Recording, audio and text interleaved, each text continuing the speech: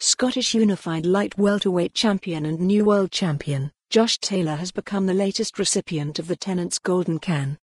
The 28-year-old from East Lothian first burst onto the scene at the 2012 London Olympics and went on to win gold at the Commonwealth Games in Glasgow. The award comes after Taylor claimed his first world belt in May, beating IBF champion Ivan Baranchyk in Glasgow. Taylor followed up with an epic unification bout against Regis Prograis, edging out the WBA champion in the World Super Series final at the sold-out O2 Arena London, bringing the title back to Scotland for the first time since Ken Buchanan in 1971.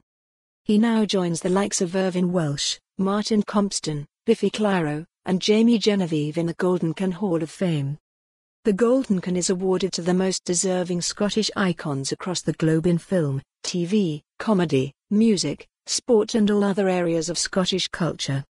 Josh celebrated the win and the Golden Can with a pint of Tennent's at his local, The Goth in Prestonpans.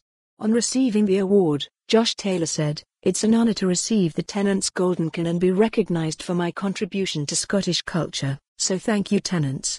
There was definitely a fair few pints of Scotland's finest consumed at the celebration party after the fight. James Hughes, Tennent's brand manager, said, The Golden Can celebrates heroes in all aspects of Scottish culture, and we have been so impressed with Josh's boxing career to date, completely trailblazing his way to the unified world title. His hard work, talent and determination to achieve success is incredibly admirable and we believe this is just the start for our Tartan Tornado. He represents Scotland on a global stage and with two championship belts to his name, we can't wait to see what he does next. For more on this story, visit the news article link.